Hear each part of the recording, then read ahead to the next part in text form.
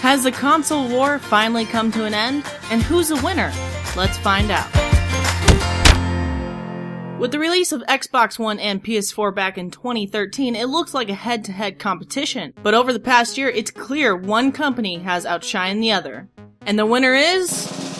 PlayStation 4. Over the past year, Sony has dominated the console market every month with the exception of April to Microsoft. But don't be fooled.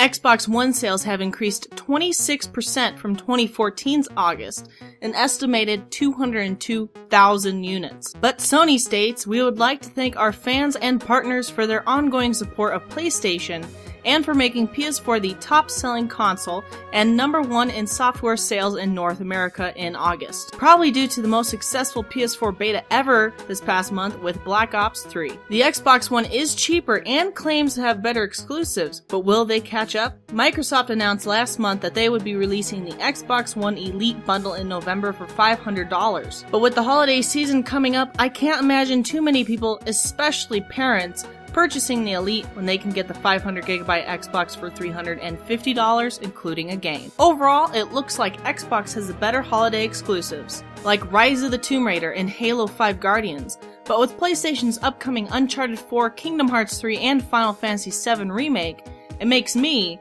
an Xbox One owner, really consider the PS4.